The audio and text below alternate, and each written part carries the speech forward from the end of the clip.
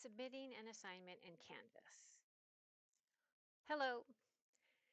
This video will show you how to submit a file in a Canvas assignment. Start by opening your assignment.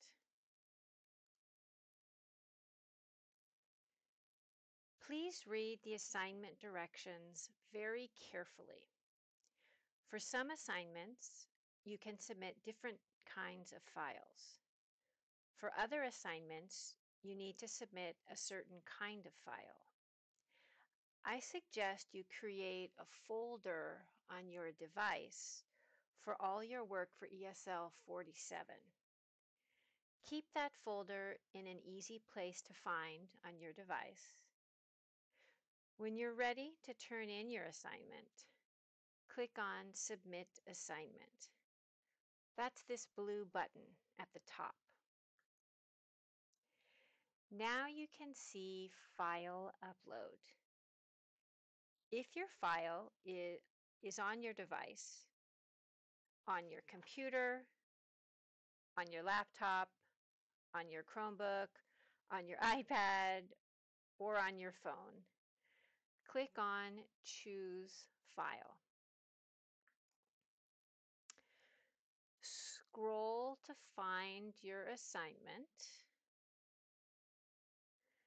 click on the document to highlight it. Click on the Choose for Upload button in the bottom right corner. Look here to see if you attached the correct document. Now you're ready to click on Submit Assignment. So it takes a few seconds. And you can see now up here, it says resubmit assignment. Over here, you can see submitted with the date and the time. And here it says submission details. Now you know that your assignment was received. If you click on Submission Details, you will see this screen. You can see your name, the date, and the time. You can see the file that you submitted. After your professor grades your assignment, you can click on View Feedback to see comments. If you want to, you can type a comment to your professor in this box on the right and then click Save. Your professor might also leave comments for you in this box.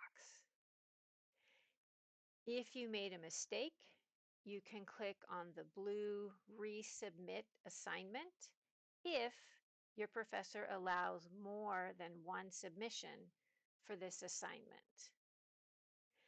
If you go back to modules and go back to the assignment again, you will also see resubmit assignment here.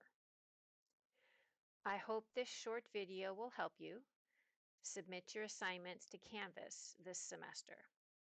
Thanks for watching.